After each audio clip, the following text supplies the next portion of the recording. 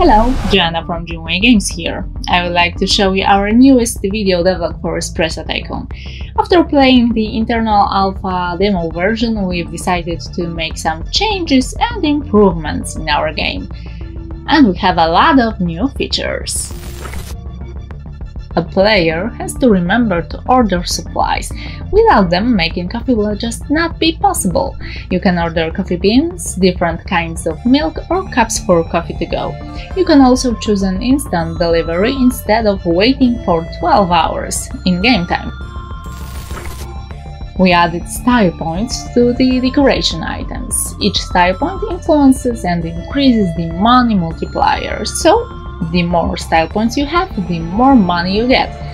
So for example, each dollar you earn by selling a coffee earns you 15 instead.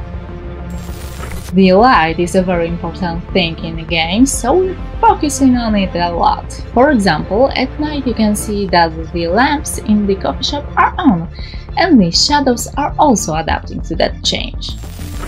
We're still implementing different mechanics. Hiring employees is one of them. A player can check, for example, the barista's character, skills, or how much money they want for working at that coffee shop. If your barista is rude, your customers may give the bad review of your coffee shop. If he's slow or don't specialize in making a coffee, you will need to train him. We have different camera views, so a player can see the coffee shop from different angles and different perspectives. We have two camera modes, strategy view and cinematic view. We're developing the market research feature. The player will have to consider how different social groups are going to react to some actions, like changing the decoration, making a new coffee recipe or a new brand. If you can see the green color, that will be your customer's first choice.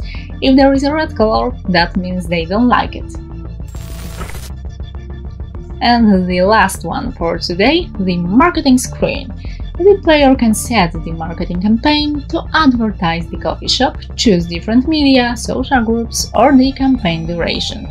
And it will help to increase the popularity of the coffee shop so there will be more customers.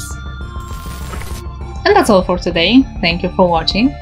We will present you next exciting features soon, stay tuned. And don't forget to add Espresso Tycoon to your wishlist on Steam.